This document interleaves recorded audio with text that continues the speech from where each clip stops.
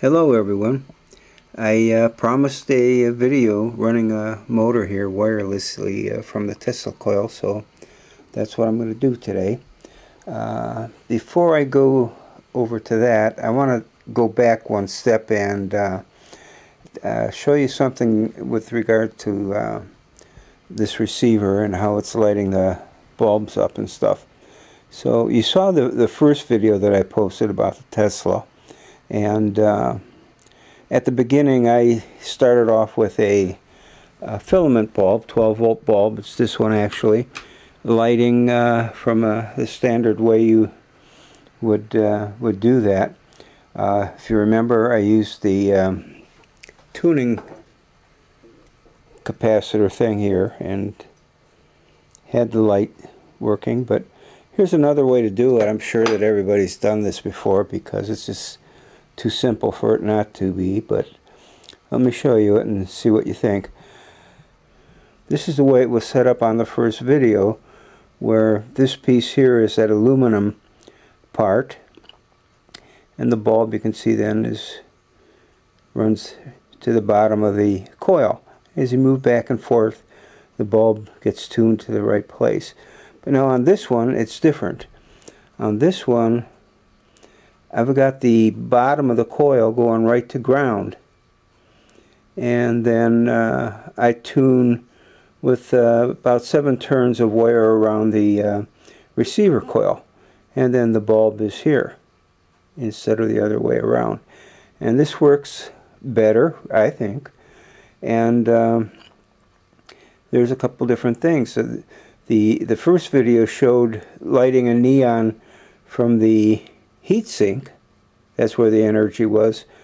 But with this setup, the energy is on the wire here and the, the top load. So sort of a reverse of roles. But anyhow, take a look at this. Here's the Slayer circuit running and I have the same identical 12 volt bulb in there hooked right up to the power rail. So that's running, you know, normal I would say. I'm at about 13 volts and it looks like that. But look how bright this one is over here. It's much brighter.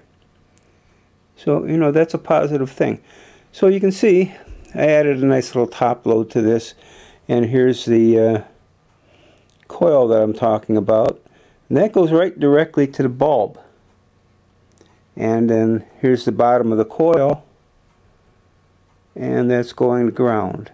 And that's the way it works. You just move this up and down to tune and isn't that just well okay but there here's something I found out uh, yesterday or was it early this morning? I don't know. But I'm going to take this bulb out and I'm going to put a neon in there. Hold on. Okay so I've put a neon in there. Heck yeah. I mean there's voltage there enough to light the neon so we're probably I think we could safely say there's probably 90 volts there at least. But let's try one more thing. Hold on one second. okay, so it lights both of them at the same time. Well, now that seems really strange to me because um, the bulb is 30 ohms. So that should be almost a short right across the neon, and I wouldn't, I wouldn't expect it to come on, but sure enough, they're both on, and I don't know, if you use Ohm's law, it doesn't seem like that can work out without blowing out the uh, filament on the bulb. I thought you'd find that interesting. I'd, I'd sure uh, appreciate a comment on that from somebody who knows what they're doing. Okay, so we're going to hook this motor up now and see how that looks. I think you'll probably enjoy that. I've got a drawing of the circuit. We can look at it and hold on. Bulb is gone. And I've taken the bottom of the receiver coil and I have it plugged into the bottom of this AV plug or Avramenko plug or whatever you call it. Here's all the six diodes you can see. And the only other connection is the ground. So let's uh, plug it in. I'm going to plug it in here. And before I do, I'm going to go over to the motor And There she goes. you like that self-starting stuff, huh?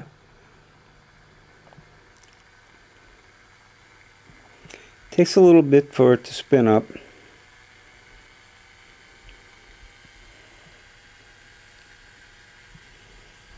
I think you can hear it running though. Me. Pull this microphone off a minute. Okay, you should be able to hear it running now. When I checked this before, it was running at about 1800 RPMs. Oh, you heard it running, and uh, I don't know if you heard me talking, so I'm just saying again that when I checked it, it was about uh, 1800 uh, RPMs. So I'm going to put the mic back. And uh, it's not it's not terribly wimpy at all. It's uh, going pretty good. I like the fact that it self-starts. You can see I just barely give this any kind of move and it see that it is just about self-starting see how see how it goes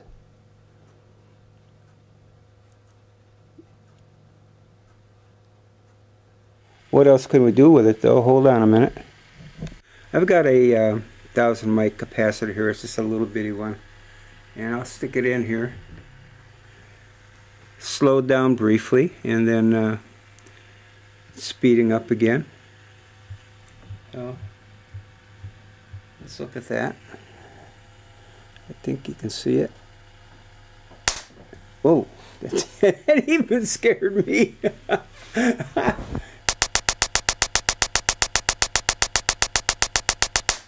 whoa, whoa, whoa. You can see uh, that it might be a device that uh, could work with a, a cap dump circuit.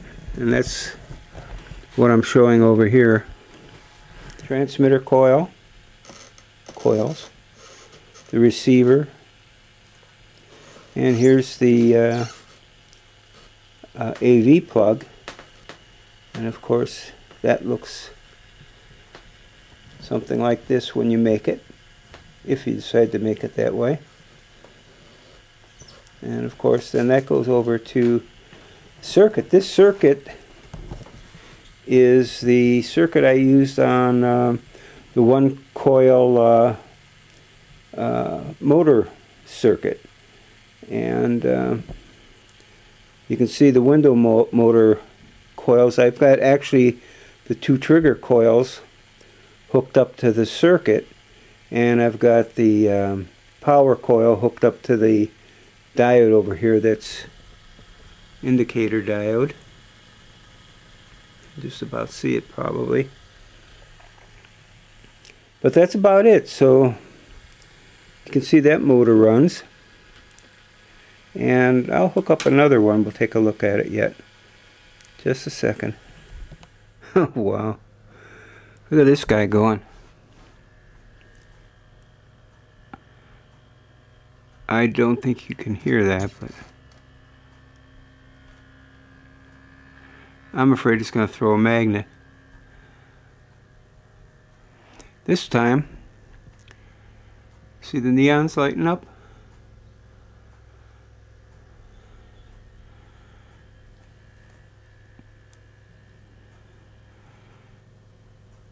Trying to govern this myself over here.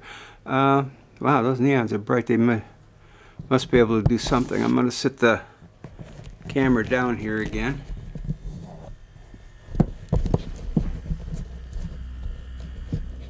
I'll try to charge this up again. Ooh, worried about that. Alright, here we go. Wow, that barely slowed down. That should be good.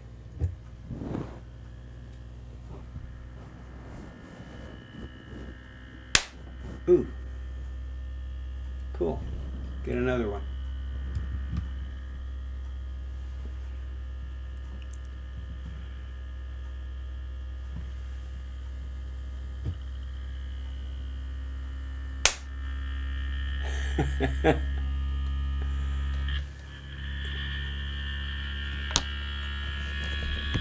now I think you can hear that. I don't know what's vibrating, but... Oh, I know what's vibrating. The end, little bit of end play where the points come in contact with the uh, mirrors. But that, that guy is really moving. Okay, so you know that about does it, guys. I'll uh, I'll come up with something yet for another one. I've got a few ideas, and uh, thanks for watching. If you've got any ideas on what was going on with the uh, neon and the filament bulb, let me know. Be nice to have a talk with you. So uh, take it easy for now, and you know I'll be back as soon as I can with something else. Take care.